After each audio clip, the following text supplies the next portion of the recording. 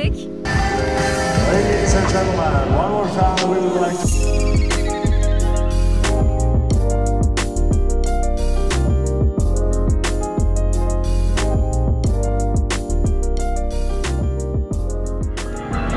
Saat Kulesi tadilatta.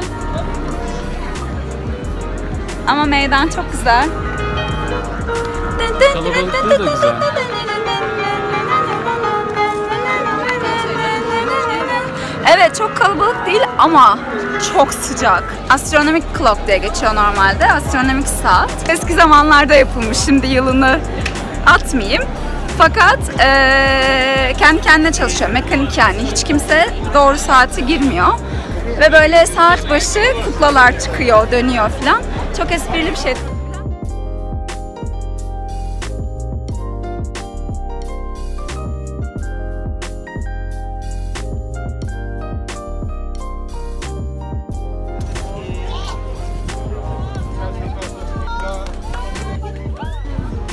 Bayağı bir sporcu genç var anladığım kadarıyla. Sporcunun dışında şey ya, e, yani burada herhalde cheerleader championship falan var. Galiba çünkü inanılmaz bir atraksiyonlar, aksiyonlar Ay, peş hepsi peşe. takımlı, hepsi formalı. Evet, evet, yani aynen başka başka öyle. takımlardan olduklarına göre.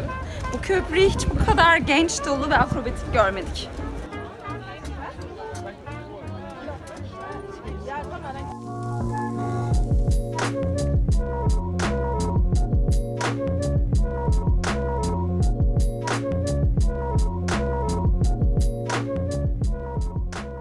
Geri çok ünlü bir mimar.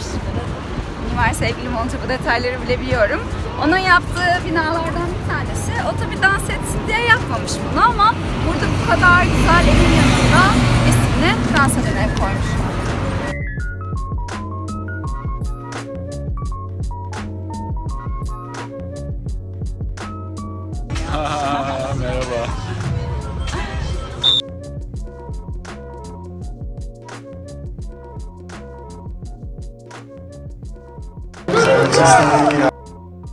Dün Instagram'dan size sordum. Bana o kadar güzel tavsiyeler verdiniz ki bugün birazcık onları yapacağım. Bunlardan bir tanesi şu an karşımda.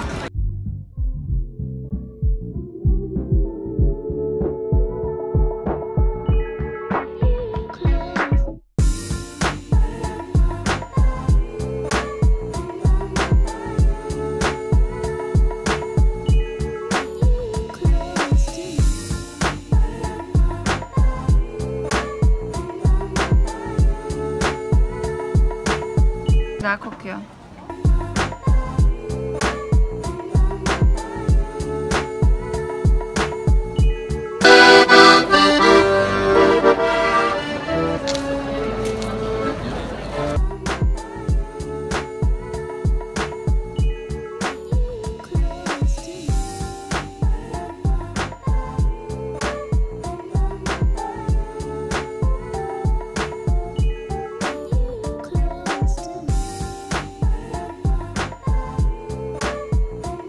Bülent'le en baş köşeye karşılama komitesi gibi oturduk. 1499'dan beri varmış burası. Bakalım şimdi klasik bulaşlarını deneyeceğiz.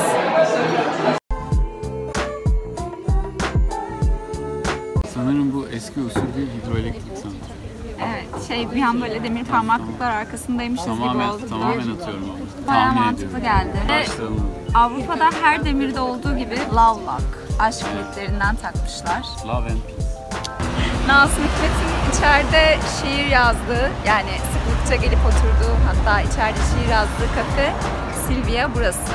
Hatta içeride Nazım Hikmet'in resmi vardı. Şimdi gidip bakacağım hala duruyor mu?